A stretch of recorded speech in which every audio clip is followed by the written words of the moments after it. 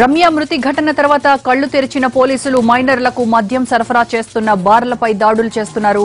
రమ్య కేసులో నిందితుడు శ్రావెల్ అతని మిత్రులు మద్యం సేవించిన బార్పై కేసు నమోదు చేశారు. తెలంగాణ ఎక్సైజ్ యాక్ట్ కింద నోటీసులు ఇచ్చారు. మరికొన్ని బార్లలోనూ తనిఖీలు నిర్వహిస్తున్నారు. సీసీటీవీ ఫుటేజ్లను పరిశీలిస్తున్నారు.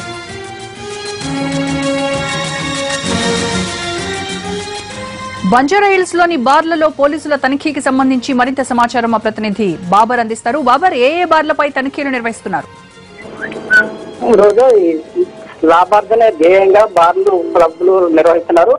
మైనర్లు ఇరవై ఒక్క సంవత్సరాల లోపు ఉన్నటువంటి మైనర్లను బార్లో మద్యం పంపిణీ చేయకూడదన్న స్పష్టంగా ఎక్సైజ్ నిబంధనలు ఉన్నప్పటికీ ఇష్టారాజ్యంగా బార్లు నిర్వాహకులు మద్యం పంపిణీ చేస్తున్నారు. అయితే నిన్న ఇన్సిడెంట్లో కూడా లోకల్ బార్ జుబిలిస్తున్నటువంటి బార్లో మైనర్లకు మద్యం పంపిణీ చేసినట్లు ఆరోపణలు రావడంతో excise Ameerpet excise inspector Krupakar Reddy ఆధ్వర్యంలో ఎక్సైజ్ పోలీసులు కొద్దిసేపు క్రితం బార్లో దాడులు నిర్వహించారు. అక్కడ ఉన్నటువంటి సీసీటీవీ ఫుటేజ్ కూడా పరిశీలిస్తున్నారు. రికార్డులు కూడా పూర్తిగా చెక్ చేస్తున్నారు. ఉన్నతాధికారులు ఇక్కడ ఏమన్నా బాలూరు బాలూరు మద్యాలు తాగినట్లు ఏమన్నా రుజువు అయితే అధికారులు అధికారులు నివేదికలు ఇస్తామని తప్పనిసరిగా యాక్షన్ తీసుకుంటామని ఎక్సైజ్ యాక్ట్ ప్రకారం చర్యలు తీసుకుంటామని చెప్తున్నారు రోజా.